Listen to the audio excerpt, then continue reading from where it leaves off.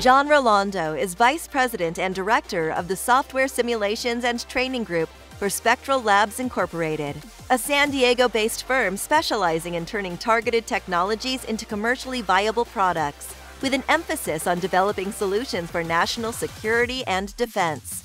John's division, one of three distinct SLI service offerings, has been busy developing simulator based training tools using the latest cutting edge commercial VR and AR technologies and game engine based training modules. His team, motivated by his transparent, accountable style, benefits from his communicative approach and commitment to employee retention. And his clients benefit from John's ability and willingness to quickly understand, embrace, and adopt new and emerging technologies.